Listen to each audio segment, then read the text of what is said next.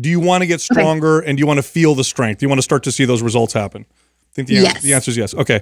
You're doing too much resistance training. So you're, you're doing two yoga classes a week. You're teaching a lot, which you're not doing the full class, but you're still moving. You're doing a lot of walking. There's a stress of studying and uh, for what you're studying for. Five days a week of strength training on top of the yoga is a lot. I would say do three full body workouts a week. literally. anabolic. Go, Maps go, anabolic. yeah, maps anabolic uh, would be perfect. Do the three foundational workouts a week option on there because there's a two versus a three one. Three foundational workouts a week plus the two yoga, and you'll see strength gains come on, especially phase one. You'll see them come on real fast. Especially if, if you stay consistent with the trigger sessions too. Yeah, it, you'll see them come on real fast, Amy. You're just doing a lot. You're doing a lot uh, of, of exercise, training, and activity. It's probably why you're plateauing. maybe all you have to do is actually kind of uh, scale back a little bit uh, on the volume and focus on like a full body routine, and I think your body's going to respond. Yeah. All right, today's giveaway MAPS Anabolic, the foundational MAPS workout program. Here's how you can win. Leave a comment below in the first 24 hours that we drop this episode. Subscribe to this channel, turn on your notifications, do all those things. If we like your comment, we'll notify you. You get free access to MAPS Anabolic. Also, we're running a sale right now, um, and I think there's only two days left, right? 48 hours, if I'm not mistaken. As of the dropping of this episode, we are going to be ending the MAPS Power Bundle, which is MAPS Powerlift combined with MAPS Strong. Retails at $300, but the sale is $79.99, and you get both. So if you're interested in that, go to mapsmarch.com. All right, here comes the rest of the show. The most valuable piece of equipment in the gym by far is the cable machine. Ooh, Prove me wrong. Cable machine. Prove me wrong. Our buddy you talking about Pekulski's going to like you saying that. Yeah. You know He's a what? big, big cable guy. To- hey, I'll tell you what right now. Okay, I know we talk about free weights versus machines. We brought that up before. Yeah, But there's one machine that good trainers Free motion. will use all the time, and it's free motion might be one of them. It might be just a multi-directional cable machine.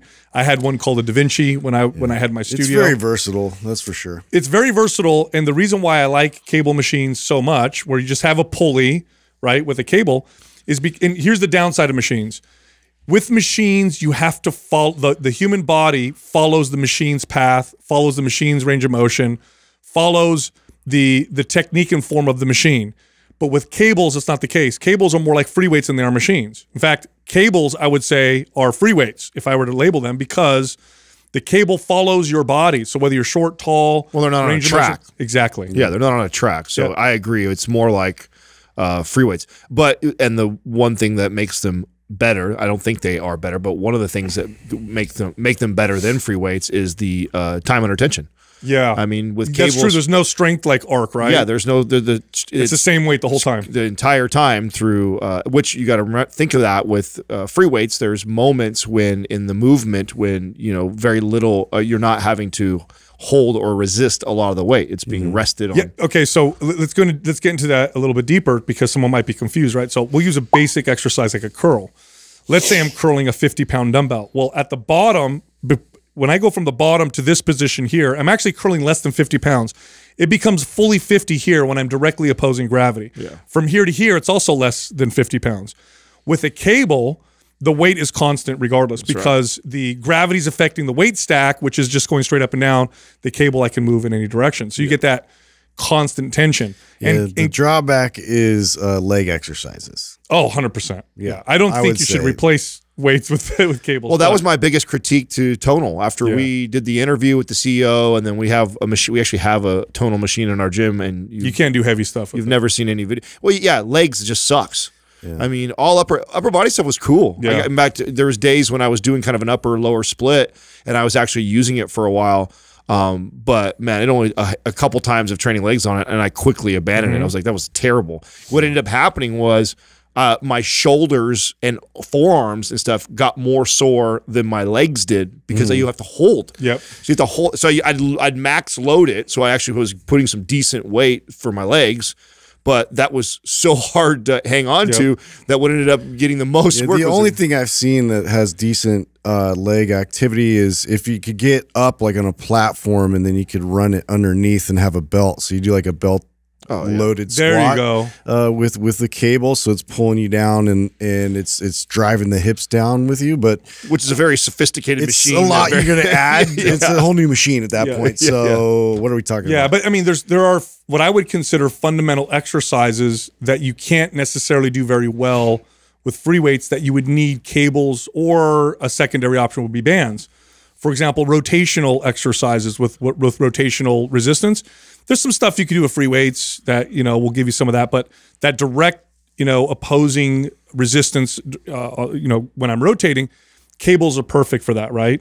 Um, you know exercises where you're pushing down, right? You can't really do that with free weights because gravity is d- doesn't work that way, right? But you could do that with cable exercises. Um, and then what you said, Adam, the constant tension. Well, I love I love that you can push pull and it's it's a used to love natural yeah like um, because the body naturally rotates anyways and it's something that uh, you don't you, you can't really pull that off with any other type of machine or free Mm-hmm. weights very effectively. Um, so I, I I tended to and I would train with my clients a lot of times just to get them to learn control and be able to operate uh, and, and move and push and pull and also stabilize their hips so they don't rotate. Yes, and, and there's also this uh, belief that you can't do explosive movements on cables. Now, bands you can. Everybody knows that you can do lots of great explosive movements with bands, but people like you can't do that with cables because the weight stack flops all over the place. Well, I figured out a way around this. What I used to do with the weight stack is I would attach bands to the weight stack, so the top of the weight stack down to the bottom. That way, when I did a quick rotation, the weight stack wouldn't flop and create slack in the cable. The the bands actually kept everything taut, and I was able to do really good explosive movements with the cable. So just overall, just a great. Piece Well, of they also al- allow you to um, do very unique angles, right? So, and and Totally. i- if you are obviously if, if, if a bulk of your training is centered around the the core lifts that we always talk about, then this is a this is a fun area to explore, which is doing these really unique, you know, elbow position, tricep kickbacks or extensions, and that you just can't do with free weights. And mm-hmm. there's no machines that are built that way. And you know, there I would never recommend that to somebody who wasn't doing the core lifts to be messing with, you know, flared out elbow, you know, tricep extensions and, and doing some weird position. But there is value in that because it, it, will it will be novel. It'd be different. Your mm-hmm. your body's not used to to training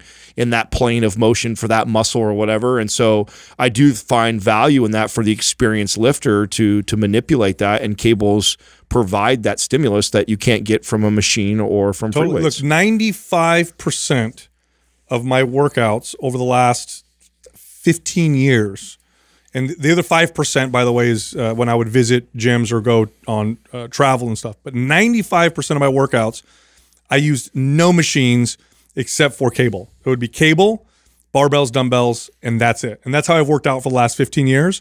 And not only have I not missed anything, I've gotten phenomenal results. But I, but cables have always been a piece of it. When I had my studio, we didn't have any machines except for what I said the Da Vinci machine, which had like all these pulleys on either side, so you had all these different directions. It was kind of like a a free motion, but it was a little bit more complex and kind of bigger setup. And even here in the studio, um, that's it. That's what I use, and that's all I ever train people on, and we got phenomenal results that way. Now I know that free weights and at home training is supposed to make you racist. Is that the same thing with cables? Is that does cables Don't make do you it, more bro. or less Hey, tell me- racist? Where are you Tell- reading this? Oh, oh, tell me you saw the article, Dude, I Tell- did. Unfortunately, Okay, I okay. did. Tell me I didn't call this. tell me I did not call this. Okay, so here's here's what happened. A little timeline, and I saw this happening little by little. So first, it started with the, you know, um, uh, healthy at every size movement, which started with good intentions, but really started to get distorted. We talked about this on the show, and I saw a little bit of this and that, and I was like, oh, wait a minute. They're calling fitness oppressive. They're calling building muscle toxic, and I'm like, this sounds like political, uh, you know, political speak. So what's going on here? Then the pandemic happened, and gyms were the the the first and last. They were the first place to shut down, last places to open. Okay, um, so they shut down gyms. They obviously were told a lot of things what we need to do for our health and this and that. And the most, the loudest voices that questioned the narrative came from the fitness space, which made sense. We did a whole episode on this, and it made sense to me because health and fitness people take our own health into our own hands. We're, we're very responsible with it. So we're the last people to just take advice and just do something. We'll always question. It doesn't mean we're going to make a bad decision, but we're, we're not going to. If a doctor tells me take this, this, and this, I'm a health and fitness person. I'm going to go do research and kind of like question it a little bit before I just blindly, you know, uh, follow or whatever. So that started happening, and you saw a lot of fitness people pushing back. And I said, "Uh oh, we're going to be targeted." And then it, studies came out showing that people who are fit and strong are less likely to support certain government actions and whatever. And I'm like, this is going to happen 100%. They're going to attack uh, the fitness and health space. They want you weak and dependent. They it is what it is happening. So this article talks about how far and by the way, far right, extremist, Nazi, those are great terms that they use uh, for anything they don't like. So you, don't, you don't have to be that. You just throw it at you if they don't like you. Why can't they be Antifa? Yeah, well, because I don't know. Have you seen the pictures of some of these Antifa guys? I don't think they I'm look like. just saying, like you know, they're out there. No, but what they what they this article talks about how far right extremist groups are going into these online fitness communities and plucking people uh, as part of their you know basically it's like breeding grounds right for this, which I mean is this happening online and the you know billions of people? I'm sure it is. Uh, I would bet you my house that uh, that breeding grounds for people to be manipulated into some scary ideology is greater in forums with people who have no direction, who feel listless with no meaning, depressed, depressed, anxious, not fitness community people. So I would argue the opposite and say it's a harder place to get people to to turn them into this kind of you know evil ideology. Nonetheless, they're saying, "Oh, that's what's happening." Then there's articles that I'll, I should pull up some of these uh, some of these articles that uh, these I feel like titles. people are getting paid to just write outlandish titles. Well, that for anytime he sends now anything to me, I ask him that right away. Yeah. it's like, okay, is this like one person tweeting it, and is, is it, or are they just trying to get attention? It reminds me of like these two academics who were writing papers to get published. They were fake. about dogs, like showing uh, toxic masculinity by like uh, Yeah. you know raping other dogs at the dog park or something. it was like so absurd, and it got approved and was published. peer reviewed. And They they made it up. That's a true story. It's just Yeah, like remember it's we're just living in such an absurd um time where some of these things make it to publication and you're just like well, here why let me, let me read you two other titles of articles. Okay, here's one. Do you boast about your fitness? Watch out, you'll unavoidably become right wing. And it says, I'm not sure what exercise does for your body, but I do know what it does to your personality, and it's not pretty. Okay.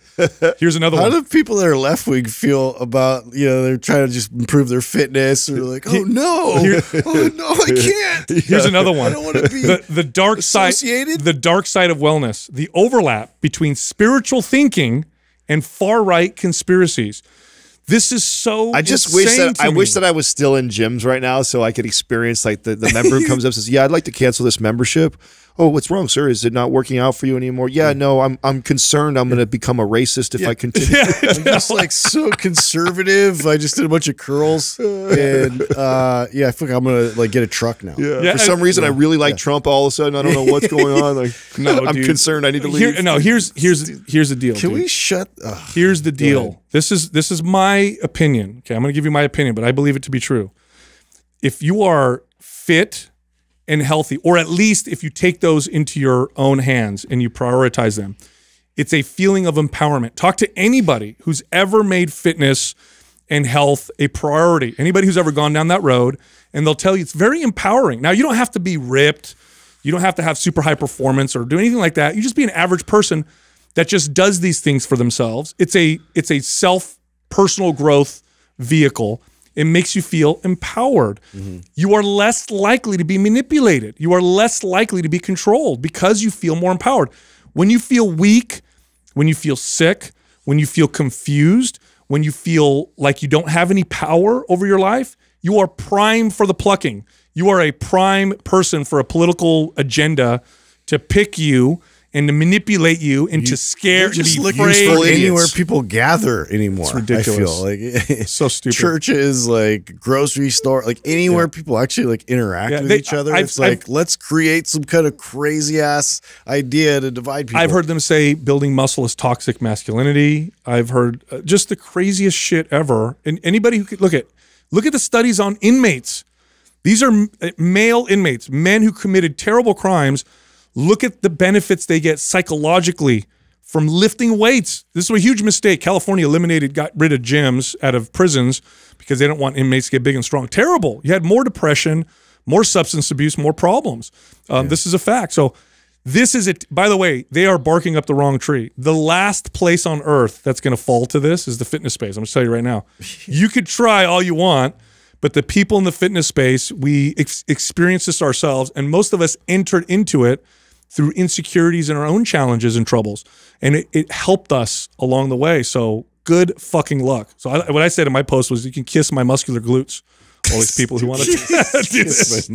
I know you got me to go off, dude. It's so annoying. Well, since you're going off on that, the net, the other article, I don't know if you saw it. I shared it in the group thread. I don't know if you had time to read it or not, but was it just a couple days ago? Uh, FDA approved. Um, Oh, GMO cows. Yeah. Oh, that's cool. What? That's so cool. So now we have we have pigs, cows, and then there's I think their salmon was one of them. that Yes. in it. So with the cows, what they did is they modified them so that they have this this coat that protects them during the winter better. Uh, so in so in their embryo, they're basically CRISPR technology. CRISPR.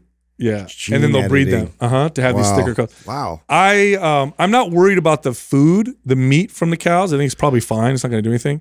But as soon as you GMO something, Well, yeah, it's you're- patented now. yes. Well, yeah. Yeah, it is now a patented product. Isn't it also interesting though? Because uh, wasn't there some genetic traits that if you alter it, it's like you have a byproduct of that that's like unforeseen right away? Sometimes, yeah. Sometimes I mean they're pretty well tested and all that stuff. I'm not going to go down necessarily that route. I mean, I am not talking trash because I mean, it, I was definitely enlightened when we had uh, is it Zach uh, Yes. on from yeah Zbiotics, and he was kind of breaking that down. I'm, I, I I'm less worried about the like um like is it is the it dangerous? chemicals and the, like Yeah. it's more that you're giving this control to patent, like you're Yeah. saying. You know, so if, if you open that door for them cows to be patent now, Yep. like what's so whoever figures out this way to Just like modify them to have the richest, uh, best seeds. meat Yeah. can patent, and then now they own the rights of that cow. That Yep. I mean, Yep. Now, and and and that's look, and the issue with that, with the whole patenting, thing, if you look at like the way- imagine if filet mignons was owned by a company. Yeah, like you could only get a filet mignon from this company because they have the, the Filet mignon. I think that's how you say it. Is that- Just kidding. no, no, it's not.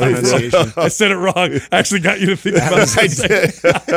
It's like, I never know. I look No, over at Doug's face, and Doug, it, yeah. yeah. Doug's always He's got all, it. it is spelled that way. Maybe it is Yeah. fillet mignon. No, it. Uh, I don't like the whole. Fillet. I don't like that. Okay, so here's the deal. I don't care. Do this so long as they don't pull the the switcheroo that they did with GMOs with plants. What they did with plants was they created GMO plants. Which, by the way, GMO plants themselves, nothing wrong with them. The shit that they spray all over them, that's probably the issue. That's what they found. Yeah. Nonetheless, y- they stop. They don't label them. So if you buy corn and it's GMO or corn that's not GMO, you don't know. Mm-hmm. So if they sell the beef and it says on their GMO beef and the consumer's informed, I'm fine.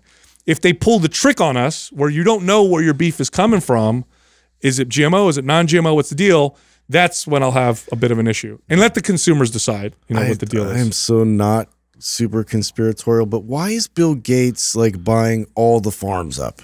I've read about that. Is that real? Why Is that true? I heard why that is too. he getting in the vaccine business, and then why now is he meddling with our food? well, what's the prevailing the prevailing theory right now? Why? Why? That has, I'm Go, there's go gotta hard, be, Justin. Yeah, there's Don't- got to hey, be don't some. shrug your shoulders. There's got to be some tinfoil hat Well, ideas. you know, like like you're mentioning, right? Um, being able to patent food. Even uh, Robb Wolf we had on was yeah. talking about um, how corporations are starting to think in that direction of really cornering the market. And uh, I would assume that um, this would, and his objective is to get people to eat.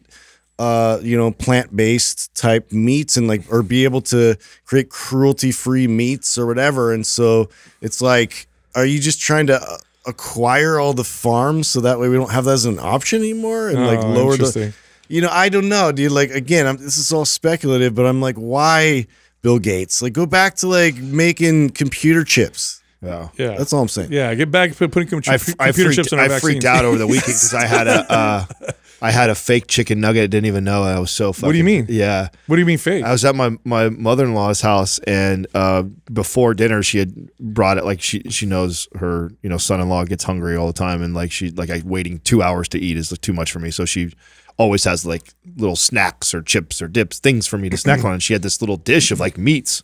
I'm like awesome, and I'm like eating them down, and I'm like, man, this is really good. Where is this? She goes, that's not even chicken. oh, you I go, got tricked, what? bro. Yeah, I go, what? she Oh, goes, snap. she- yeah. She goes, no, it's vegan. I'm like, oh, I'm fucking so, I'm so mad, dude. I'm so mad. You got chilled Never your again. Oh, I did. It was actually pretty good, dude. I was really surprised. It actually tasted. They like- engineer the shit out They of do. I, that's come why, it was, yeah. bro. I thought I was eating chicken. I really did. I had no idea it wasn't. I mean, it looked like it. The texture was like it. It tasted like it. Well, you remember I the Matrix? They said that was the problem. Everything tasted like chicken. Yeah. But does It it? was the easiest to engineer. And I wonder if that's true, like because I haven't had a lot of uh, you know fake meats before. I think that actually actually might have been my first experience of having fake meat. Um, and uh, is that what it is? Is it that chicken is the easiest, and does that does oh, I have no idea. Yeah. I don't know. have you guys have you Doug have you had any fake meat? I've had the beef. And What'd you think? I didn't like it personally. It didn't taste like real beef to me. Now, did you go in with an open mind, or did you go in bias Was it already? oil? I was kind of biased, Yeah, but I see, did. But I did shut that off for a moment while I ate it and said, "Okay, does this really taste?" Now, like was it beef? palatable? I mean, it was palatable. Yeah, yeah, yeah. I mean, I so I went to somebody's house. Same thing happened to me. Yeah. I had no ideas, and they go, "Oh, we have I don't know if it was uh, Impossible or Yeah, one of Impossible the one of the two or Yeah. three that are out there." I go, "Oh, great." But you know, I'll be polite. I'm going to try it. It probably won't kill me. Yeah, yeah. And so I, I ate it, but I, I did not say, "Oh, this tastes like beef" to me. Yeah, I went in completely unbiased because I had no idea, and so you know, I was I was fooled. I really was. They're So- going. We're we're not that far in our lifetime. I'll have to try it. In our lifetime, there's going to be companies that are going to sell meat that they grow in a lab. It's not going to be. Well, animal. that's what made so that why I brought it up is I mean, that we're, we're going beef. this way in the GMO Yeah, yeah. conversation, and that I mean, it's only a matter of time before you're right. And the fact that it fooled someone like me just makes me realize, like, oh wow, this is definitely going to happen. You know, so I was so annoyed, but it does. Me- just meat in a box. You know? they I can was like a little kid. shape. I was like spitting it out, like Just "What?" a meat in a box. oh, like when you trick your kid into eating something Yeah, healthy. yeah, yeah. You know, I put spinach in those pancakes. Well, Oh, well, well, yeah, I don't, I don't like it now, Yeah, Dad. yeah. What the hell's wrong? Hey, speaking of processed stuff, so you guys want to know what I drank this morning? I've, I've never had one of these before, but I had What- a what? I had a Bang. Bang energy. I did, bro. So I went to the gas station. to I was just like, where did you even Out of that? all of us, like, yeah, you're totally the bang. so guy. it's because You're the total right? bang Hey, guy. you look like a bang guy. yeah. So no, I don't. Bro. I don't have I don't have bang shades. Big bang guy. No, so I went. I went to the to the to the gas station, got gas, went inside, and I I needed something to pre workout, and I left my my pulse here. So I usually will do Legion Pulse pre workout if I do a pre workout.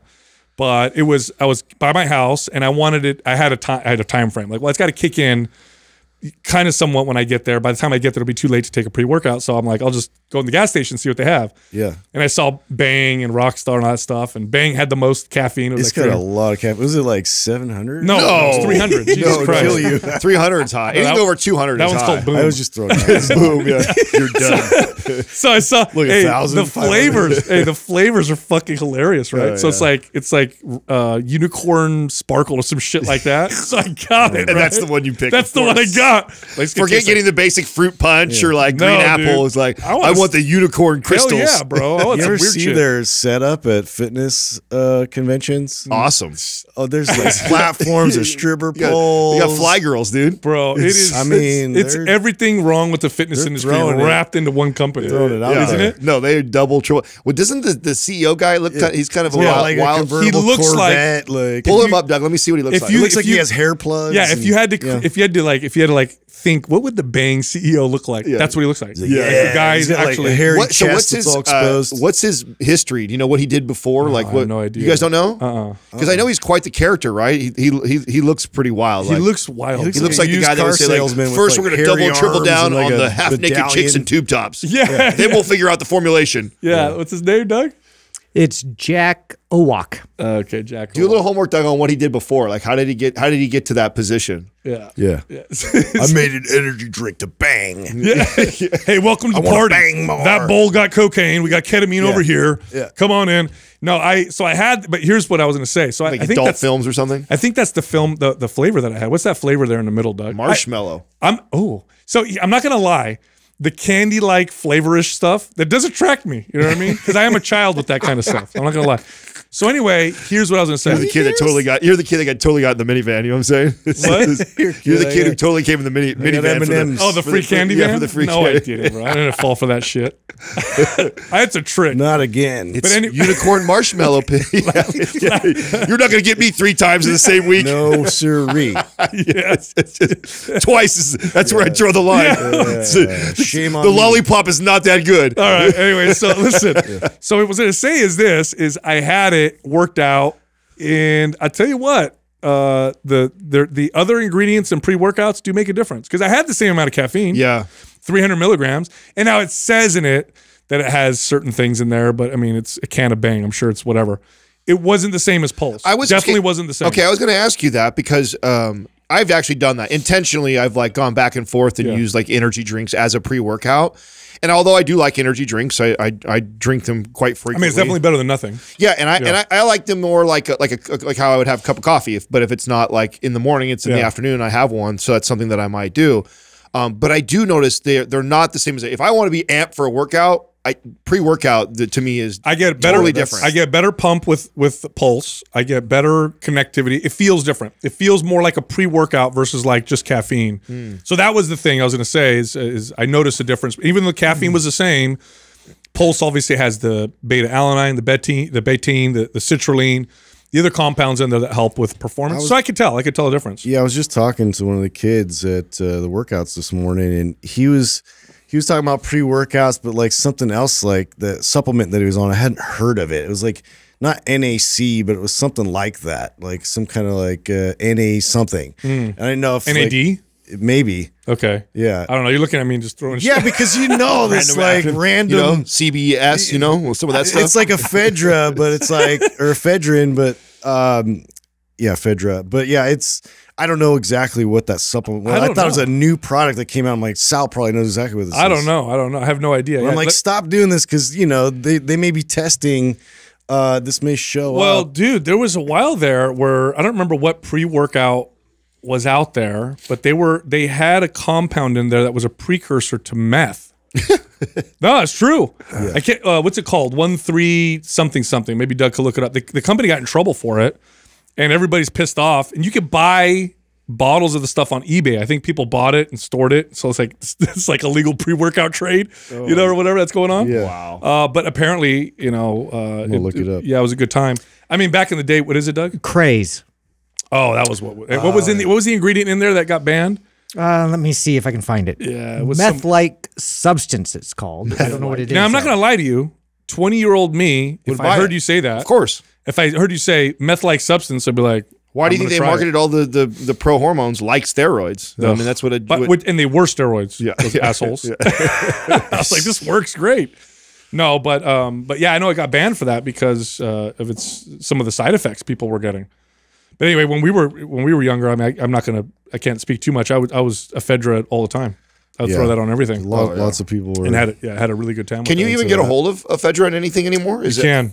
You So can. yeah, so Sudafed. Sudafed is chemical ephedra. Uh, So so you can't even buy. they two, lock it up Yeah, you can't even buy two boxes of Sudafed Yeah. without getting I feel like, frisked. I know. I feel like a jerk. Like, So- it used to be in uh, mini thins. Uh, you could get it like truck stops. Yep. And it was like some of the guys before football games would take it and just almost be like foaming at the mouth. But- just ah. the the dose of ephedra and Sudafed is very minimal. Like the No, old just- speed stacks would be 25 milligrams. Sudafed, 25 milligrams of ephedra alkaloids, which if you took a dose, a decent dose of Sudafed, that's what you're, you're going to get something close to that. No, no way. You think that there's 25 milligrams of ephedra maybe- in a in one pill of Sudafed? Doug, maybe look up Sudafed. Uh, Maybe you're right. It's pseudoephedrine, so it's the same. It's the same thing. It's just one's a chemical form. Ephedra was the herbal form. Okay. So let's look up the dose of pseudoephedrine in a The reason regular why- dose of, of Sudafed. The reason why I can't imagine that is Maybe I'm thinking I, the was, extended one. I was just sick not that long ago, and uh, Sudafed is kind of like the go-to. Uh, you know uh, what you call it? Um, Drug. and yeah, and I I would think that if I took 25 milligrams of ephedra, I would be up. yeah. Like it would keep me wide awake. It didn't stimulate me like that. I'm maybe I'm thinking of the 24 hour time released one because you could buy Sudafed that's 24 hours, and then I think it does have yeah, that. the one I had, the one I had is either the 12 or the 24. I don't remember which one it is. What does it say there, I don't think it's 25 milligrams, Sal. Yeah, I'm trying to get this. So pseudoephedrine is spelled with a PS. I'm seeing. Yeah, just look up Sudafed. You just type in Sudafed, look at the back of the ingredients. It'll it'll it'll Oh, tell okay, you. yeah. Let me do that then. Yeah, no problem. Yeah, so um, it- it's the same chemical. It's just not herbal form, but maybe it's the time release one. Because if you take the time release one, you're not getting hit with all 25 milligrams at once. It like releases it slowly. Throughout You know, the I always thought it was interesting that like that they'd make you, you know, you can only buy one box and you get carded now because of people would take the Sudafed, they crush it up, and then they basically they turn it into meth. yeah they basically turn it into meth. I would think that's a really expensive way to make meth. Like Sudafed is not cheap. Mm-hmm. Yeah, So but how- the like- resale, at, the margins on meth are probably amazing. Uh, done that way? Uh, uh, I mean, how else? Obviously. Well, I mean, you like one little box of Sudafed is. And, and Stop trying to do the math, Adam. I, well, it, it just Adam's like doing the. He's like a business guy. What are right? the Like, other wait ingredients like in this big vat that we're creating crystals with, right? Yeah. Yeah, you know, I don't. That's why I don't know how much. Uh, like, I don't. How much is a box of Sudafed? Maybe Google that next. Doug. How much is a box of? How much Stop. meth? How much get meth does a box of Sudafed Well, dude, make? isn't it like they? I remember seeing some picture where it showed all the different ingredients that like went into like making. meth. It was like all these like horrifically toxic Chemicals. chemicals, like you know, from like paint thinner to like all these different uh, household items I that you can make it with. It's So disgusting. the active ingredient is phenylephrine, HCl, 10 milligrams, in the Sudafed. According to the label. Uh, there's got to be another form of Sudafed because I know it's pseudoephedrine is what's in there. Uh, yeah, I don't know. But That's I, so I'm I've here. looked, and that's why I mean I didn't think Doug was going to find it because I've I've always been curious about that. Like, okay, if if that's got ephedra in it, uh, at what dose per pill? And I've never been able to get to the bottom of it to find out how much is in there. And I don't think it's 25 milligrams, Sal, because the way you, I mean, I know how I feel off of 25 milligrams of ephedra. I mean, it's like taking six cups of coffee, so it doesn't feel it's like. definitely a good time. yeah. I- you- Okay, here we go. I found it, Doug, in two seconds. So this guy, man, I swear to God. 24 tablets, 30 milligrams each. So it's a Each. 30 milligrams of pseudoephedrine. Yeah. Now, I don't know. Let me see if this is a, if you take this one every four hours or if you take it, Well, even if it was a yeah, every four to six hours. Yep. There you go. so there's 30 milligrams of ephedra in a single. Of pseudoephedrine in the Sudafed. Yeah. Sudafed congestion. That's the one. Okay. So I wonder if you were, if if I were to take two of them and crush them up and then Wow. and then take it and then take it, would I get like a crazy? That's a sixty milligrams of ephedra. You know, if you took, if you just took the regular one, I think you'd be, you'd be, you'd be fine, dude. Yeah, you could buy, you can even buy a, um, uh, like a generic version. Now this, Pseudoephedrine. what I'm seeing is a 24 hour one has 240 milligrams. Yeah, spread out. Pseudoephedrine HCl. Now, now here's the deal. I'm not hundred percent clear if it's a one to one ratio. In other words, if ephedra Can't alkaloids and pseudoephedra, It can't be are Sal. identical. A hundred and something of because if someone did chew that or crush that up and took a hundred and twenty, would you say Doug? hundred and what? 120, I believe. 120 milligrams of actual ephedra in one Oh, hit. wait a minute. Hold on a second. Hold on a That's second. 240 milligrams. Wait a minute. Hold on a second. I guarantee you, back in the day, you never took ephedra by itself. It always came with caffeine and other things. 200 milligrams of. Ca- Here was the dose. It was No, I- 200 mgs of I've caffeine. done, I've done the little white pills of just pure ephedra. And you didn't throw caffeine and- on top of it? And the most I've ever ran is like 50 milligrams. 50 milligrams of that stuff, and I was like zipping. oh, okay. Well, so that's weird. Yeah, I don't know. Um, okay, like so the difference between episode. ephedrine The and pseudoephedrine. Here, I just, I just found an article. The main Warning. difference between ephedrine and pseudoephedrine is that ephedrine is a sympa, sympathemimetic alkaloid derived from a plant, while pseudoephedrine is an isomer of ephedrine with sympathetic activity. I can't say it right. So um, I guess one is a little stronger than the other. So Obviously. yeah, so I think uh, I think you might be. I think the straight ephedra alkaloids might be a little bit stronger. It, it have to be. I mean, or, or else you would take uh, one of those 24 hour Sudafeds and the first person to ever accidentally crunch it or break it down so the whole time release goes out the window and you get 240 milligrams of You're fucking- right. Ephedrine is a p- more potent CNS stimulator. Yeah, you would be flying. Yeah, because and then you used to buy it uh, as an herbal supplement. Ma Huang was the name of it. Ma Huang. Ma- Check out Ma Huang. yeah, M A H U A N G. Now, is it used in uh, other, uh, like Chinese medicine. It's been used for a long time. the Ma Huang thing, but Yeah. not what ephedra, or is it the same thing? Oh yeah, same thing. So that's what's in there. So it's got ephedra alkaloids in there and um, So what does Chinese medicine use it for? Like what are the bronchodilator, asthma, bronchitis. Because if you take Oh. Duh. it, yeah, dude. Oh, yeah. So I was an asthmatic growing up, and as I grew up, I I, I, I grew out of it. Right. So does Western medicine still use it then for cases like that? used to.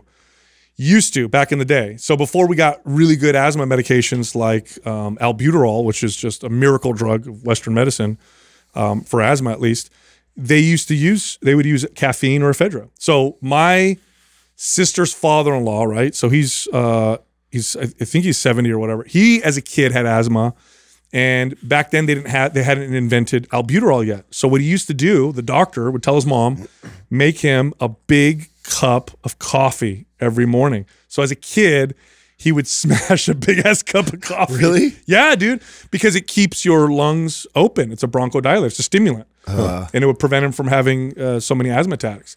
But yeah, dude. You ever use? Oh, see, none of you guys had asthma growing up, huh? No, but I've used clenbuterol, which is probably one of the scariest, craziest drugs that I've ever Yeah, used. that was that was that was. Uh, I, yeah, that I remember I accidentally took a h- higher. I read the dosage thing wrong on it one time, and and and and I really I had like maybe double of what the recommended dose was, but bull, I mean, I it felt like my heart was pounding out of my chest. yeah, It that they the were shit giving they were giving that to cattle to keep them lean and, and, and they built muscle on. It's interesting how it oh, affects. Oh, I mean, cattle. I I it, it I I lost body fat so fast it was It's crazy. like a commercial for Clenbuterol. Don't do yeah, yeah, no, I'm not. No. Everybody- I, I'm telling you, it scared the shit out of me. It was definitely one. I mean, I didn't mess with it after that because it was so scary. I thought I was having a heart attack. Well, so. they banned it because it built up in the meat of the cattle, and then people would eat beef and get clenbuterol poisoning. Oh wow. So they start they banned it uh, in most countries. You can't give cattle. So what, say again, why were they using it for the cows? Were they, it, it would it would lean them out and, and bulk them up.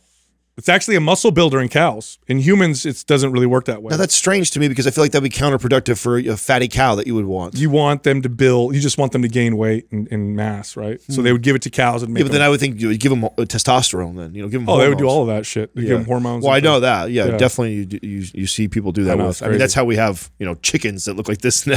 And they, like they, you ever seen a picture of a chicken from the 1950s versus a chicken now? yeah, it's crazy. They don't look. They were like little birds. yeah, They, they, they were like little birds before, and now they're they're, all like big ass pecs now. Yeah. they look crazy. No, it's- Anyway, Justin, I got an article for you. Okay. So uh, I found this article on ScienceDaily.com, which people always ask me where to get articles. Uh, great place. So this was a study uh, done um, back in November of 2021. Here's the summary: Government action is needed so driverless vehicles can be insured against malicious hacks, which could have potentially catastrophic consequences Insured.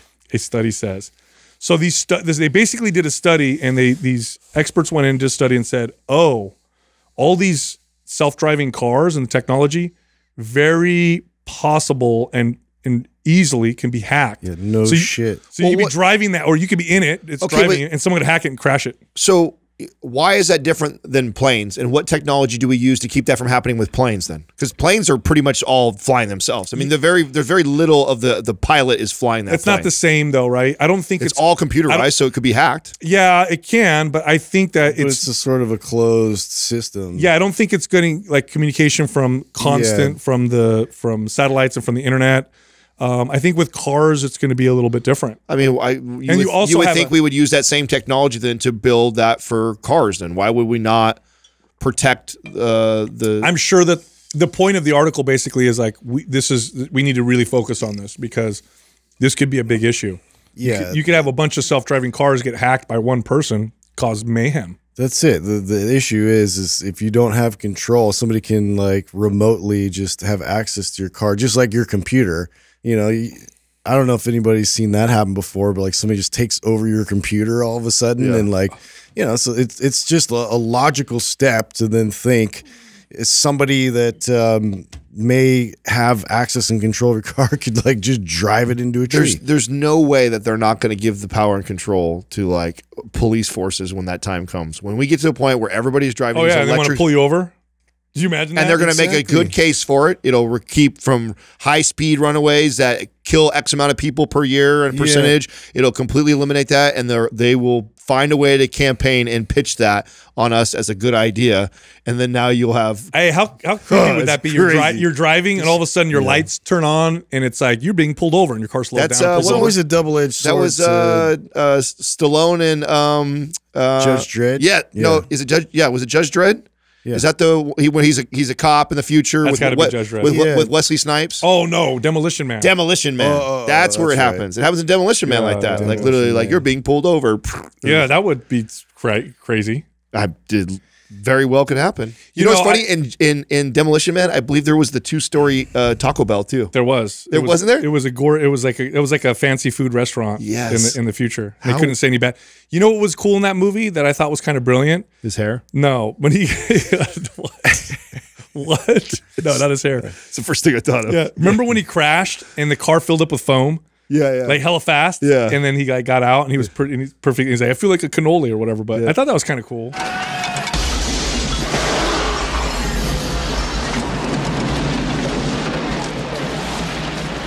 Well, I mean, it's kind of similar to what we have with airbags now. Yeah. I mean, the, the- most cars now have airbags in like side, front, back. Have you everything. seen that they have airbag jackets that they're experimenting with for motorcycles? Have you seen these? Oh no way! So you're riding your motorcycle, you crash, it inflates. turn into a balloon. fucking a dude. Shut up! I want to see You this. just bounce down. Now, that's the only thing I'm scared of. He just bounced down the hill. Yeah, out- off the exactly. cliff. Please, please pull this up. I want to see this. No, it was like a big airbag, um, like jacket or whatever that inflates, and then you're you're okay.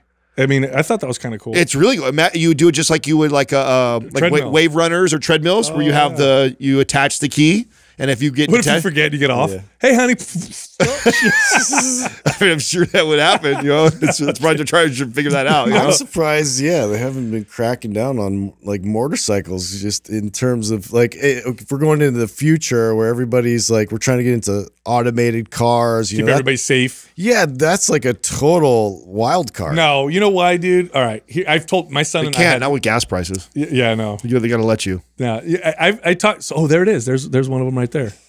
So just that's not really that exciting. It just, Yeah, it just, just, inflates a little, bit, puffy. That's all you got for us, Doug. You got something It's, cooler than uh, There's- oh well, there you go. That one little gets a little puffy- bigger. Okay. That's kind of cool. I'm disappointing you guys on my searches. Yeah, today. you're just so sorry. you're just slipping this week, Doug. I don't know what's going on with you. Man. I um I had this conversation with my son. We were driving, and um we were talking about car speed and this and that. So you know, a lot of cars have a speed limiter. It prevents Mm-hmm. the car from pat going past a certain speed. And he goes, "Why wouldn't they just put a speed limiter on cars that doesn't let you go over the speed limit, like the top speed limit, which is like 65 miles an hour? Because they want the ticket, son. I told him like, dude, if uh-huh. they really wanted business around it. if they really wanted us to not speed or whatever, that car manufacturer would be 100%. You just wouldn't be able to go faster than Yeah. a certain speed. Yeah. No, it's bullshit. So motorcycles, come on. maintain the illusion of freedom. Yeah. yeah, dude, I'm doing awesome right now. Boop, boop, boop. Oh, hey, speaking of tech, new tech, Adam, you were you're you were talking about the new product from Chili. Oh yeah. So I saw. Um, I didn't realize that our our uh, buddy Kelly Starrett was actually uh, sponsored or working with Chili, and he popped up. He they actually used him for like a paid ad, and so obviously because I'm connected to Chili, I get hit with those things. And he pops up, and I'm like, and he was promoting a a new model like called the Dock Pro or something. I'm like, how did I not know about this? And looked it up, and it's supposed to like cool like two times faster. You can like you can have it like freezing cold and run it to hot like right away, and it gets heated up really quick. I forget what was So it just works really fast. It Yeah, doesn't like have all the tubes like the one. No, no, no. It's previous- still. or still I think those? it does. I'm, I, uh, what I saw, it looks like it just looks like a different motor unit, right? So what we have like your Ooler. I don't know if you guys have the Oolers or Chili's. Yeah, I have the, the Ooler, Ooler. right? And uh, you know, it's about this big. It's, it looks like it's a little bit bigger, but l- like flatter maybe, which I, I, I like because it'll fit under my bed better then. Uh-huh. Um, but it, the, it's like a supercharged, you know. So basically, it's like So getting, cool to bed, boom. Yeah, wake I because heard it's quieter too. Yeah. Oh, and quieter. So one of my not, but I don't mind the noise. it's white noise. So I kind of like the noise. So I I mean, but I like on the Ooler you have the option to. There's like three levels of noise. You can go like the the medium, high, or low, or whatever. Right. That, so I like it. I like the the white noise. Yeah, white noise actually is uh, good for sleep. Yeah, so I, it, it- that doesn't bother me. So it being, but some people I know don't like any sound. Katrina doesn't like very much sound, so I'm sure uh, that's better. But no, it looks uh, it looks really cool. What does it say on there, Doug? I guess it cools faster. It says it cools twice as fast.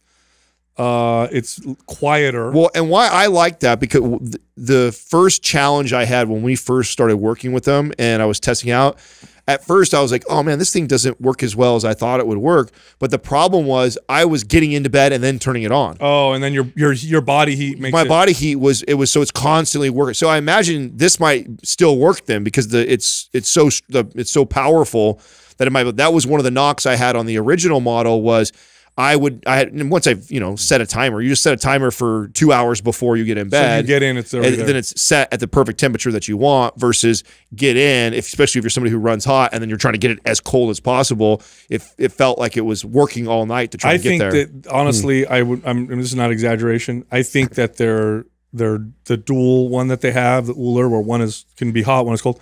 I think it's probably prevented uh, Divorces. countless divorces. Yeah, I agree. I mean, because one of the biggest arguments you'll ever have. Look, if you're watching this and you're a guy or girl and you you, you know you've never been married and you're going to get married, I'm going to tell you right now, you're going to argue over the temperature of your bedroom when you go to sleep. Because inevitably, one of you wants it colder, one of you wants it hotter, Or you may be doing activities, get you all hot.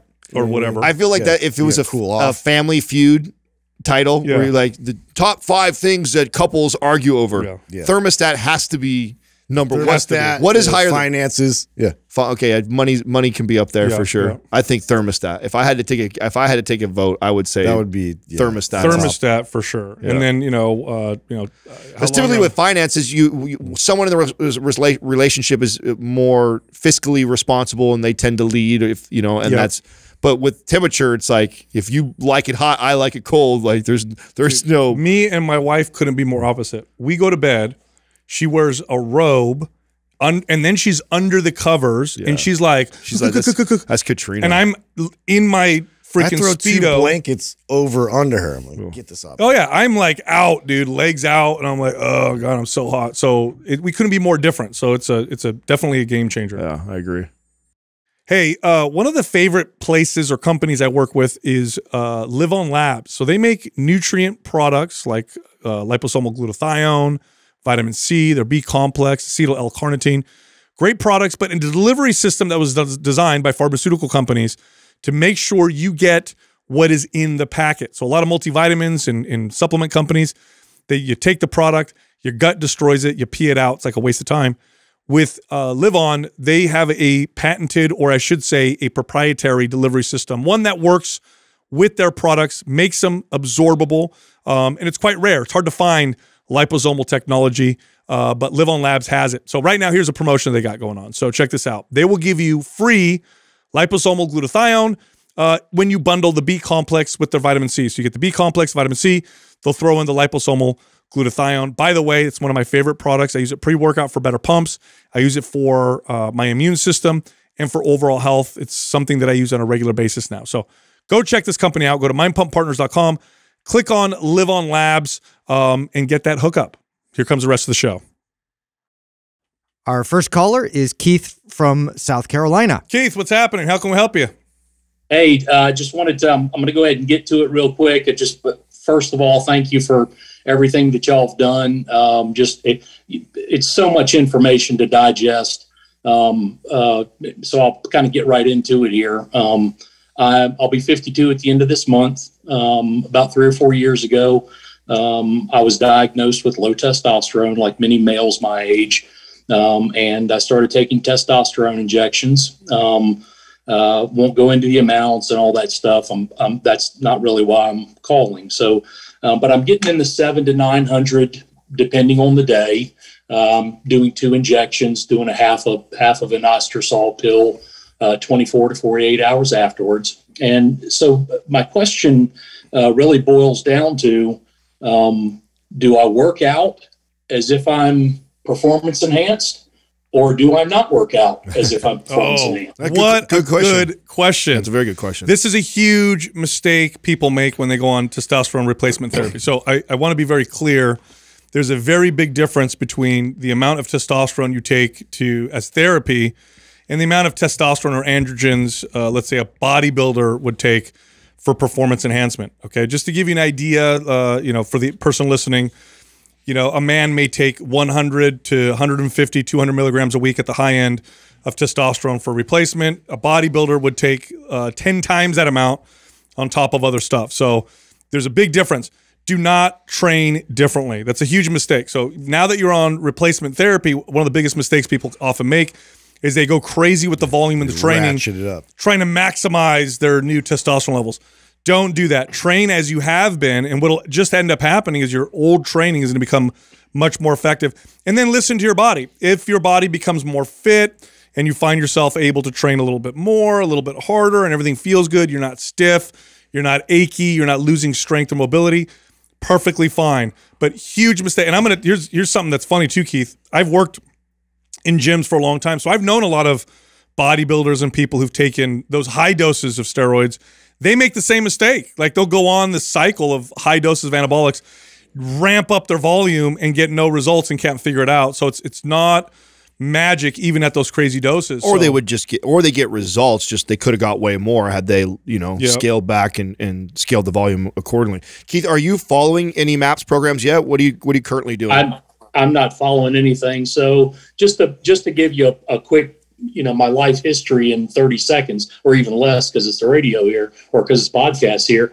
Um, I I'm I started lifting weights in the 14, 15 year old mark, and um, the the majority of my life has been an attempt to be as big and as strong as I can.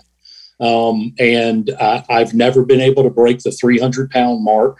Um, Oh, you're a big boy. time- yeah, and my and my and my waist was 34 inches at the time. And don't get me wrong, I'm not, I'm, you know, I'm not saying that happened two years ago. You know, that was in my late teens, early 20s, and um, so so now it's uh, now it's a point of, uh, you know, I've, I've been this big guy all of my life, but I've always I've always hit the weights heavy. Well, um, there's this thing that's called advanced AGE that I have, and at 52, my body is wore out.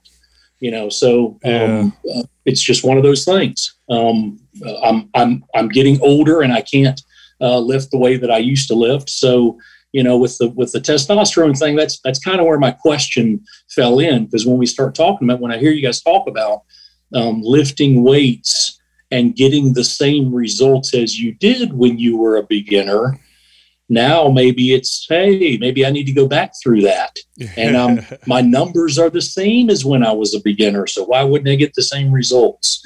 Um, but man, I was lifting daily. I mean, it, there wasn't a day where I didn't. Plus, playing ball and that kind of thing. Keith, Um, Keith, listen, me going, ahead. me lifting the weights that I could lift when I was in my mid twenties. I was never 300 pounds with a 34 inch waist, so I don't know if that's a fair comparison. Yeah, you did you play college football or or or sports? I- no, I was I was I wasn't too stupid to play or to be in college. I was just too too, too stupid to go to college. Um, I- yeah, yeah, if that makes sense. Um, but- I, I, I, I chose the military route, which don't get me wrong, man. I'm not you know second guessing my my decisions, but it, it just it, it led me down a different path, and and I'm very pleased with where I am now.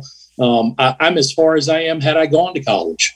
Yeah, Um, so, but yeah, I just never got to. I did play semi-pro ball, which you know allowed me to allowed me to you know bang around a little bit, but nothing to nothing to to brag to anybody. the reason yeah, why- a bunch of has been never was. Well, the, the reason the reason why I bring that Uncle up, Rico. I love it. The reason why I bring it up is because uh, the the the stronger and the higher performance you had in your twenties, the harder it's going to be to achieve that uh, later on. So my performance, great. my performance was okay, right, compared to like okay, I, sure. I was never a 300 pound, you know, 34 inch waist kind of guy. That that's that's massive. So I, I wouldn't worry too much about that. But can we send you a program? Because I think Maps Performance would really. Oh, I'm do glad you a went. lot I of was just going to ask you guys where you would win because typically we'd go anabolic, but I think where he's at in his life, I think I would go performance first, then anabolic, and then like and a- then maybe like something else like Yeah. strong or something like that. But I think Maps Performance, Keith, I think you're going to love the way that makes your body feel, especially the mobility sessions.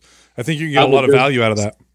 Yes, sir. I will go down any route you tell me to go down, and that's that's just the way it is. Oh, beautiful. All right, Keith, we'll send that over to you. Okay. Easy enough. I, again, I can't uh, I can't help you out, or I can't uh, thank you enough for helping me out. Can can I? I put two questions down. Is it okay to lead into the next question without a lot of feedback? Yeah, that's fine. Tell tell me how I drop my fat percentage. Yeah. Is that just is that just part of the testosterone? Yeah, you got to. I mean, it, it, no. There's obviously it's more complex than this, but ultimately you're just going to have to watch your your your nutrition. You got to eat less. So I would keep the protein high, cut your calories. You got to eat less calories for that to happen. Otherwise, you'll you'll build the muscle, and that'll help, right? Because you'll speed up your metabolism. But without Sure. the focus on nutrition, it's gonna be really tough. And I, you know, depending on where you're at, I I actually wouldn't suggest to cut calories yet. I would literally. Uh, we just got off another call. We talked about this. I would have you focus on make sure you hit your protein intake right. So make sure you're Okay. hit you you hit what your body needs consistently, and really just focus on that. Feed the body when it's hungry. So if you if you have your body's natural signals telling you you need to eat or you want to eat, uh, just make good decisions. I think you will naturally lean out being put on a, pr- a program like performance, while also hitting your protein intake. I think you uh, without having to cut or restrict really hard. I I would recommend you first just follow it like that. Yeah, just give it some Sure. time and see what happens. I think like the new stimulus alone will totally, uh, your body's going to respond to it. And it says in your question you you're, you weigh 265 at 25% body fat.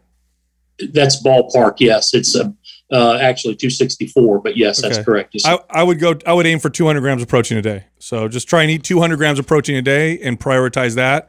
Um, and uh, and then I, I, I agree. I think that we'd be smart to kind of see what happens. easy enough. Gentlemen, thank you. I, I, I wished I had, or I wish you had two hours to talk to me. well, But- follow up with us, Yeah. Keith. Follow up with What's us. Follow up with us. Yeah, let's Oh, thank you. I, I do appreciate that. That's um, Yes. you know, the, the feedback is always a is always a good thing. Yes. Um, Thank you. Make sure that I'm on the right track, but but even more so, make sure you're on the right track. And I know you guys are. You know, you're doing what you're doing. Appreciate it. Thank you, Keith. Thanks, Thank you very much. I really. Yeah, Doug, you cut him off there, didn't you? accidentally. He's a talker. He's like, I got a present for you, and it gets cut off. Uh, yeah, all right. way to go, Doug. No, you know what? Um, uh, that's a really common thing. Like, Great I- question. bro. I there were guys that I worked with that were natural, and then they got on their you know first cycle of anabolics, and they immediately doubled their training volume, did all this stuff, and then they were like, "Why is it not working? My, I don't really see great results, or whatever." And I remember them figuring it out and going, "Oh, I can't just like." All of a sudden train like crazy it's not going to work that way.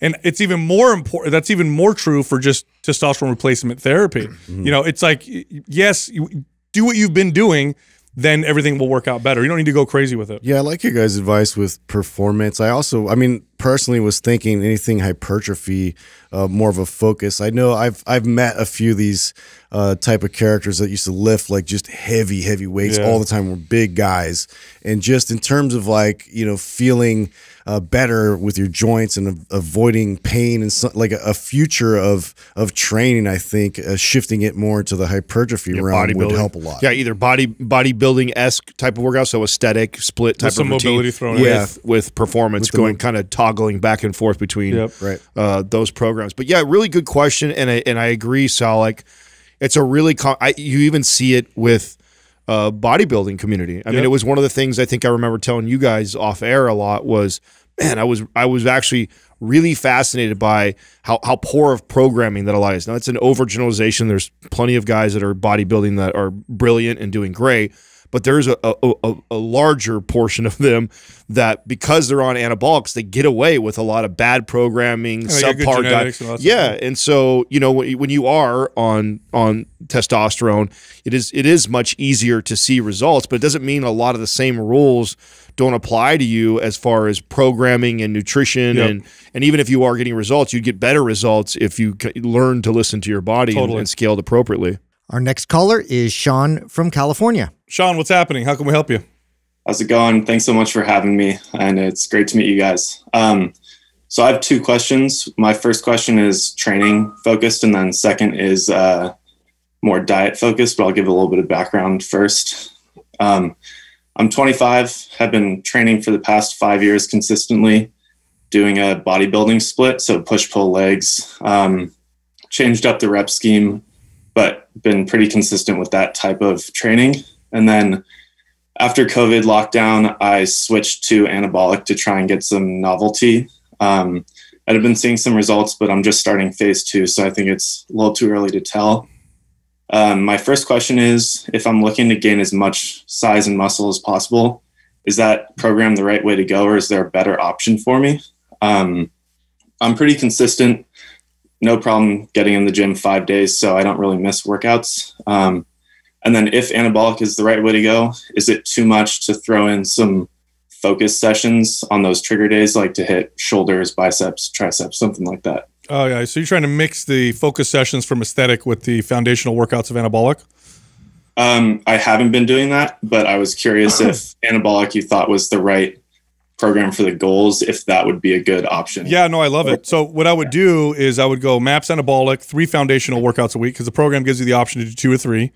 So you could do three, And then two days a week, instead of trigger sessions, do focus sessions. And essentially, what you do is you go to the gym, pick a body part you want to work on, do isolation movements for it, just get a pump, and just do like five sets for it, and that's it. So you're in the, in and out of the gym 20 minutes or so um, on those focus session days. That's a great combination. I think that's a perfect program. That being said, I do think there's some value in, you know, even though you're an advanced lifter, you've been training for five years consistently, you like going to the gym five days a week. I still would would want if you were a client of mine, I would love for you to just follow anabolic to a T at least the first time around, and then we could we could tweak on round two with doing things like that. It's not that you can't do what we're saying right now. I just think so many times uh, people that are training, especially guys that like to work out and lift, they they tend to overdo what they need to do. There's there's definitely a difference between what your body can handle. Sal says this all the time, and then what is optimal.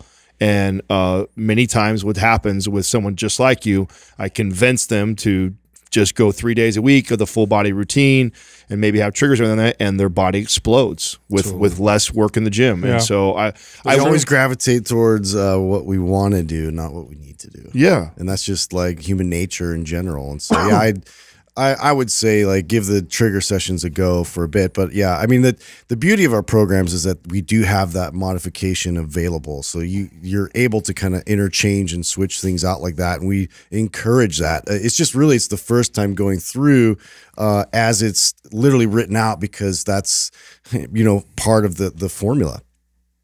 Cool. Yeah, that, that all makes sense. Um, and then my second question is about um, protein during a cut. So um, s- about 6'4", 230. So my protein goal is uh, around 220 grams of protein per day. Would you say there's anything wrong with using whey or protein, whey or casein protein powder to get 100 to 120 grams of that protein, as long as it's not messing with digestion? Um, No, not necessarily, but that's a lot of protein to be getting from protein powder. and I don't have anything to support this, but I man, when I was competing, I messed with this a lot, and I told I remember telling the guys this, like you know, I know there's no real good research to support this because most everything when it comes to meal replacement stuff is basically for weight loss or weight gain, very specific versus body composition or how I looked. When I got all of my protein from whole natural foods versus supplementing a lot with bars and shakes. And I went from, I did both extremes. I, I was really strict and did nothing but whole foods for a show. And then I did another show or prep for uh, where I allowed like literally two, three bars and two shakes almost every day to hit the protein intake. And absolutely, I was able to lean out and, and, and, and build muscle and do all the things. So I definitely was, you can do it for sure. But I swear to God, I just, I didn't look and feel as good as I did off of Yeah. the whole food. So it's I've experienced uh, so to me, it's like yes, you totally can, but in the back of your, your mind, always have that goal of like, okay, if I have an option, you know, to go make myself or make a meal or buy a meal that is whole foods versus just have another shaker bar, I always would would push and encourage you to do that. Even though yes, you can still get jacked uh, by eating all of your protein from shakes and bars. Cool. And then just the second part of that question is I'm currently on a cut. And so I've been not fully intermittent fasting, but I'll have a protein shake with some coffee in the morning and then I'll eat starting at noon. Uh, normally balanced meals the rest of the day. Is doing something like that going to mess with my metabolism and slow it down or No. mess with hormones? No, You guys that's fine. It's, No, a, you're it's a great strategy. Yeah, there's, there's nothing I wrong like with that. that. Yeah.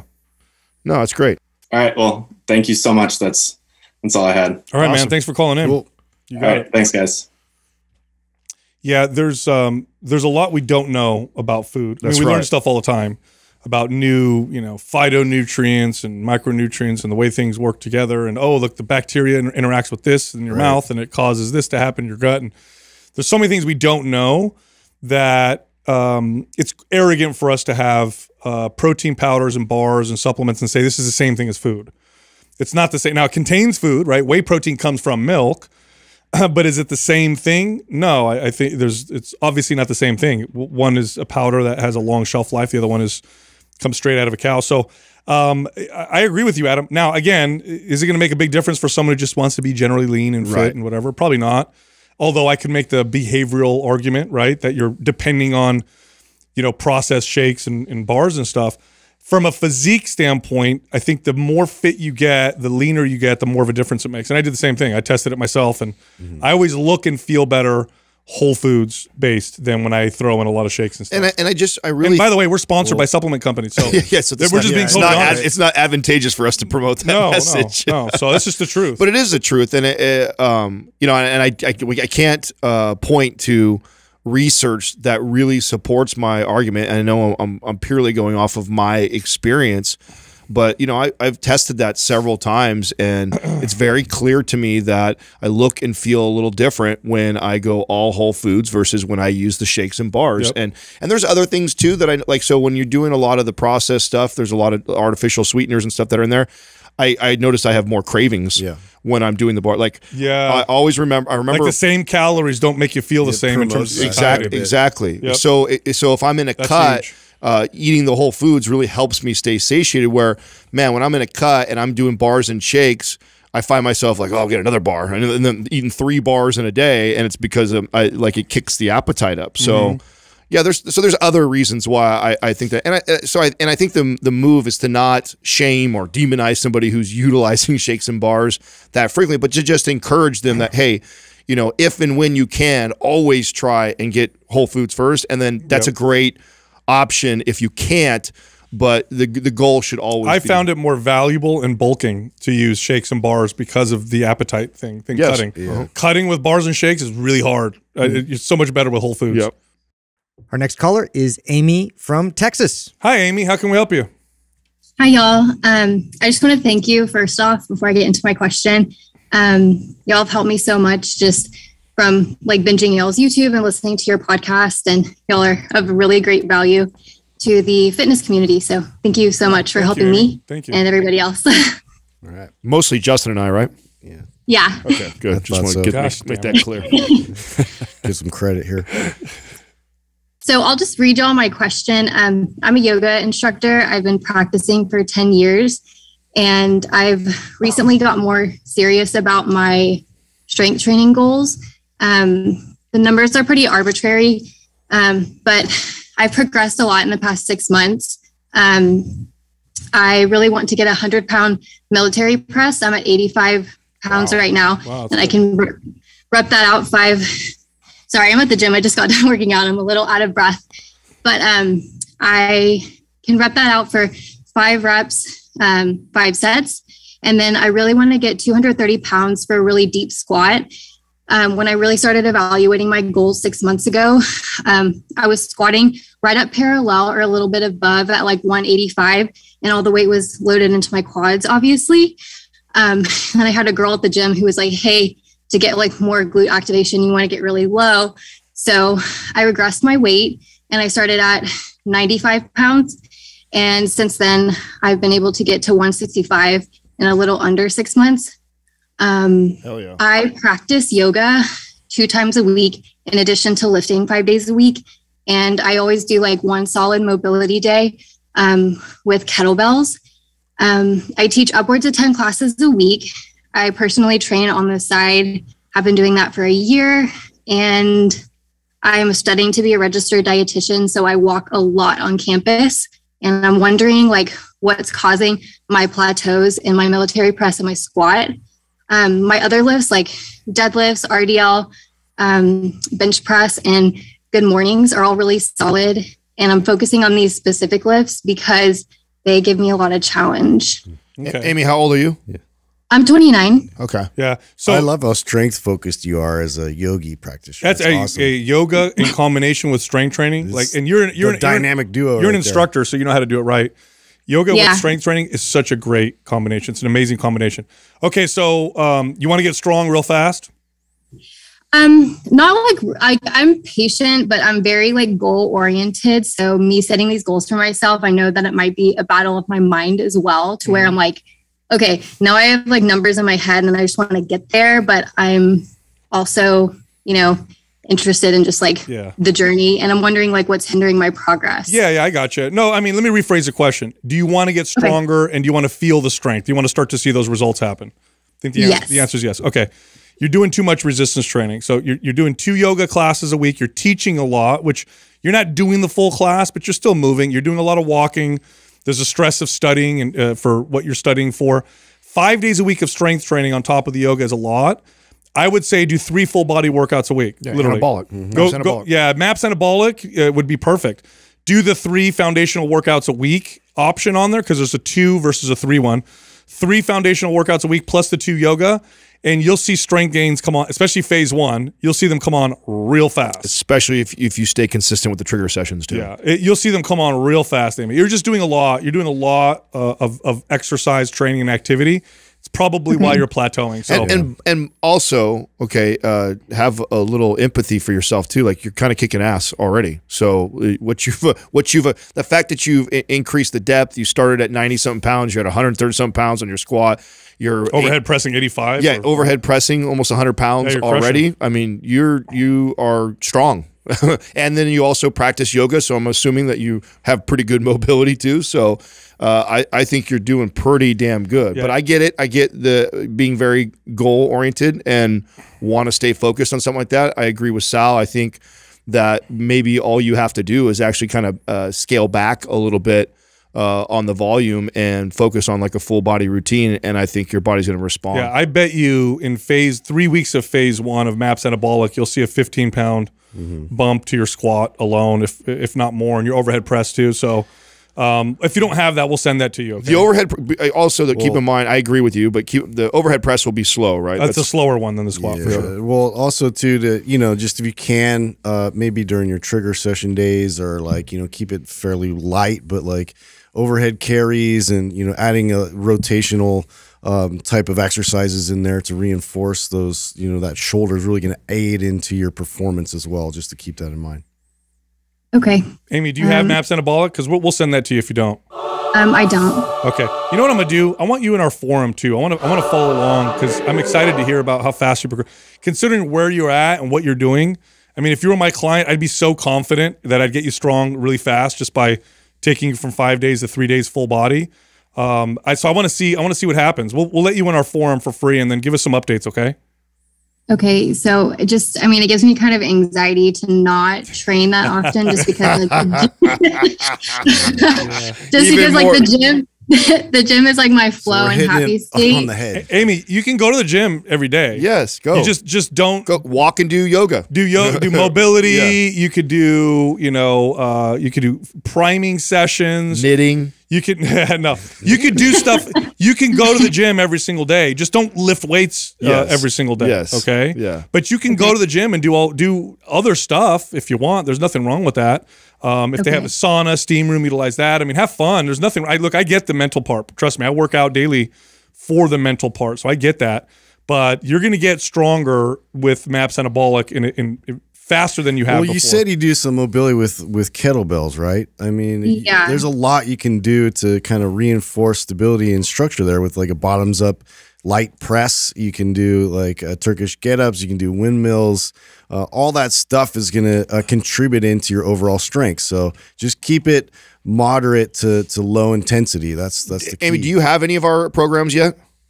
Um, I don't. I actually just this is random. I just finished um, Paul Chek's scientific stretching, so I had Oh, done yeah. a few. Hey, I had done a few of his like continuing education, and so I just found y'all six months ago, and I've been binging your free resources on YouTube, and then like your podcast. And so I was like, okay, I'll invest in Mind Pump as my next block of continuing education.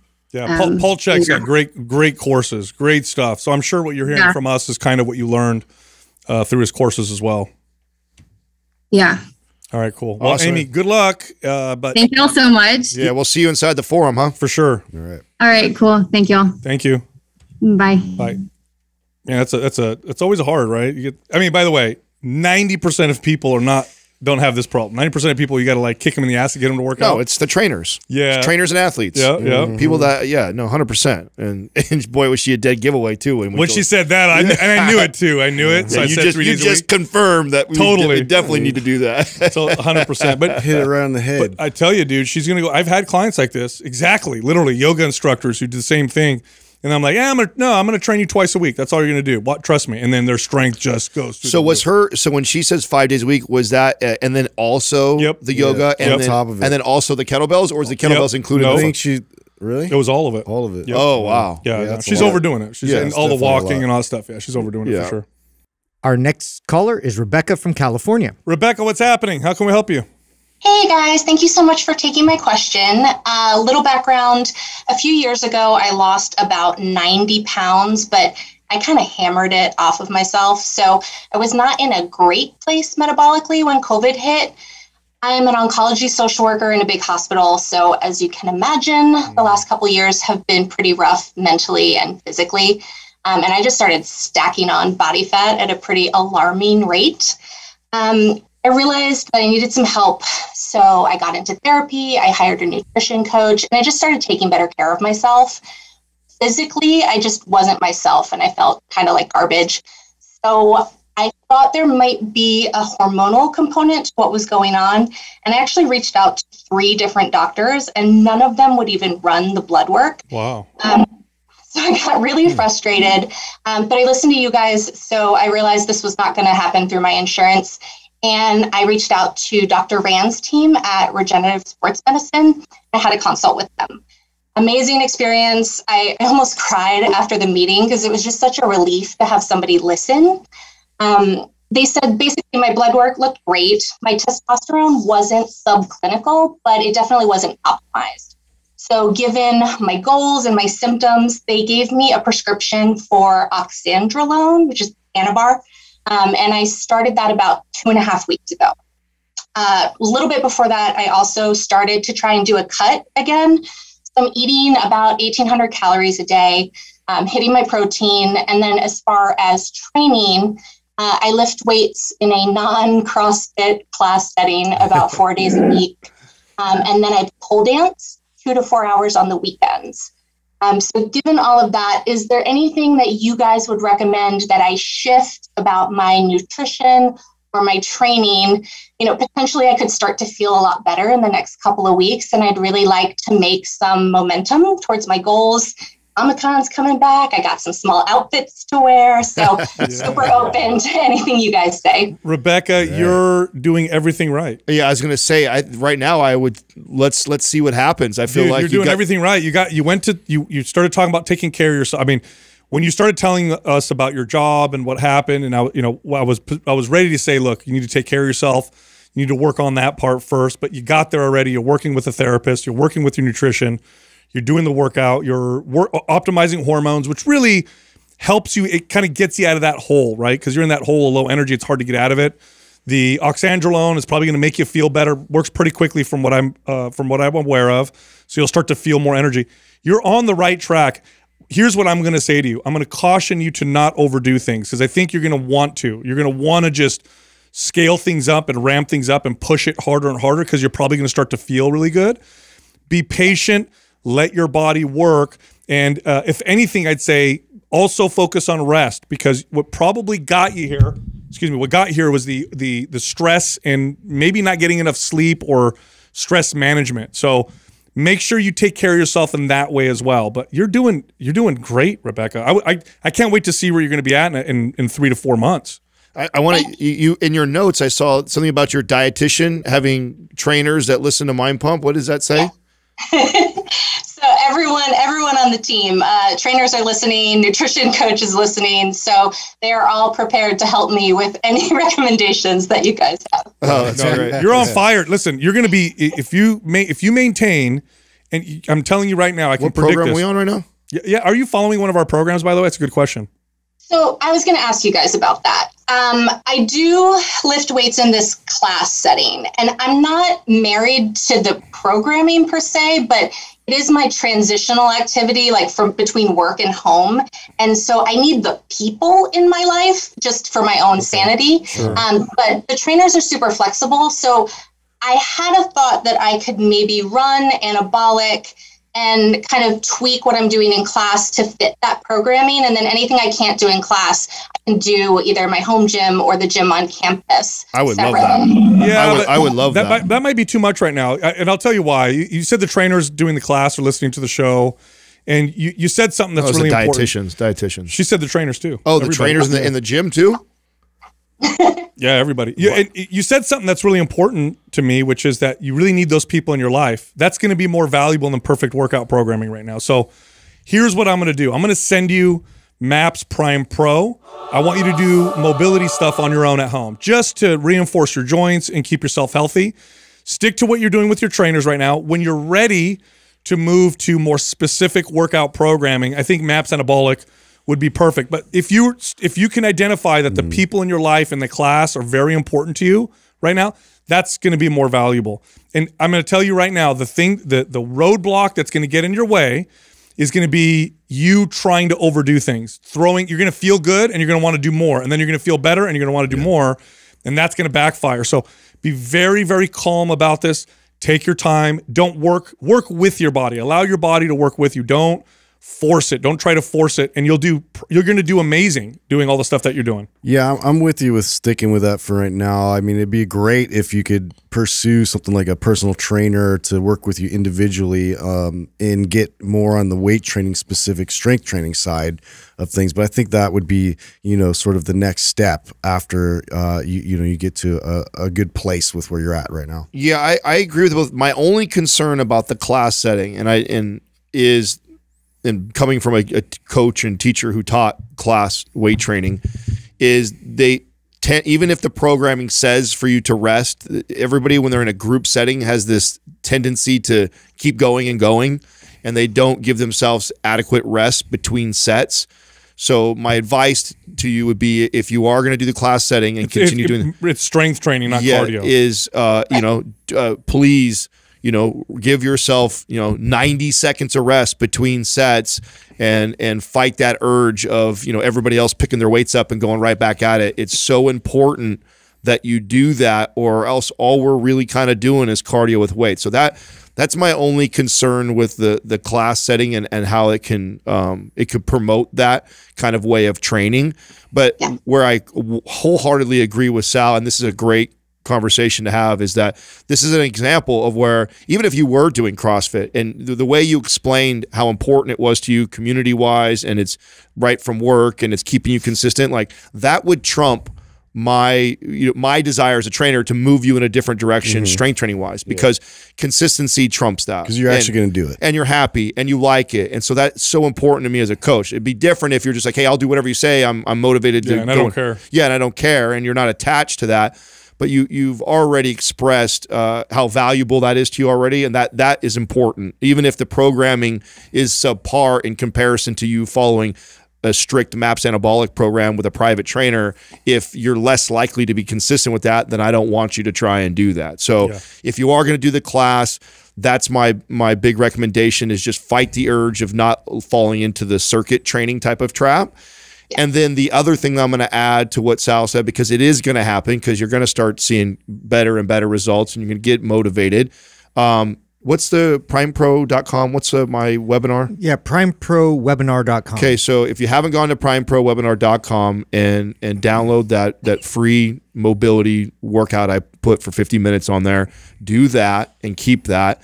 And every time you have the urge to go do more because you're motivated, you're feeling great, and you're and you just want to be more active, you know, turn that on at your house and do that, and or go for a nice. Well, we're going to send her Prime Pro, so she'll be able to even individualize it. But that class will give her a good idea. Well, it gives her something to follow, Exactly. right? Versus you having to kind of like if you're you're going to have a day where you're just like you got energy, you're motivated, you've already done your routines, and you want to do more. Go follow that class, do that mobility Totally. workout I have, and or go for a nice walk. There's there's your prescription for the days when you start to like want to do more. For now, I would say do what we're doing. Yeah, I, I do have a tendency to overtrain and undereat, and I've I've hurt myself a couple of times. Um, so I actually do have Prime Pro, and it really helped me rehab uh, a hip injury that I had um, because I was doing too much and, and getting a little out of control. So I, I will absolutely keep Well. Rebecca, I want to give I want to give you something for free because I like you so much. Give her anabolic. when Are you she's in our for Are you in our forum? I, so I'm in the forum. I have anabolic performance and aesthetic. All right, name You have anything you want to give us? Yeah, you, yeah. Na- name name something. I'll give it to you right now. Do you want? Are any programs you want of ours? Strong. I want strong. All right, we'll Oh, send you. you We'll send you strong. There you go. right. There you go. But don't Thank go. Don't do strong on top of your classes. Hold on a second. Wait a minute. mean, Are you I tricking won't. us? They'll they'll watch me. My trainers will watch me. They'll yell at me All right, if good. I get out of control, and they make me time my rest. I have to time it on my Oh, watch. good. Oh, that makes I- that makes me You happy. got some smart Yeah, people. I can't be you, so- trusted on my own. good, good. Okay. Thanks for calling in, Rebecca. awesome. We'll send Thank that over to Rebecca. Thank you guys so much. Thanks. Wow, that makes me so happy. She did a lot of the right stuff uh, from where she was at. She's in the right, moving in the right direction. She'll screw herself up if she overdoes it, but if she doesn't, she's going to be. This is going to be such an incredible transformation. No, I She. I- seems pretty self-aware though, going through Yeah. this, you know. So I think uh, she'll be able to recognize. Shit, even the those fact that she's got right? coaches timing her because she doesn't even trust herself to do it. Yeah. That's Yeah. amazing. So she's uh, she's on a great path Yeah. right now. It's Now, lit- and, and the other thing I want to comment on was her experience with uh, with hormones with her general practitioners. It really annoys the shit out of me because I've had this experience, not not with hormones, but with other things. We're like, hey doc, I'd like you to, you know, I want to get this tested and see what's going on, and they dismiss you. Oh, I and know. it's just so damn so frustrating. frustrating. Oh, it's so annoying, you know. So it's like you don't, you can't, you want to take your health into your own hands, but you, you know they make it harder. So I'm glad she went to uh, mphormones.com, talked to the team over there because they're definitely on the forefront with that. I also think it's important to uh, highlight again. Just uh, you know, she's a perfect example, right? Everybody knows that we we you know rag on CrossFit all the time, and we tease the Orange Theory and the Yeah. F forty five classes, and we kind of bag on that a lot.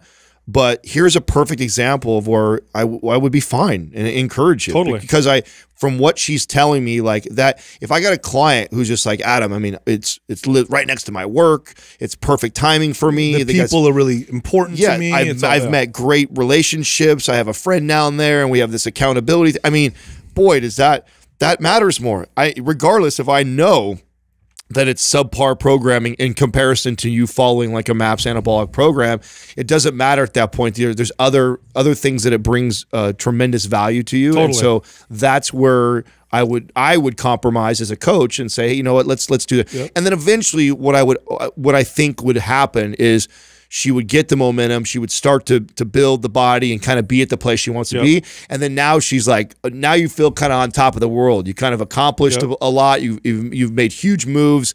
You've been super consistent, and now you're like, okay, Adam, what could I do more? Okay, hey, well, let's get into some good programming. Exactly. Hyper focus on strength. now. Exactly. Yeah. Look, if you like our information, head over to mindpumpfree.com and check out our guides. We have guides that can help you with almost any fitness goal, and they're all free. You can also find us all on social media. So Justin is on Instagram at mindpumpjustin.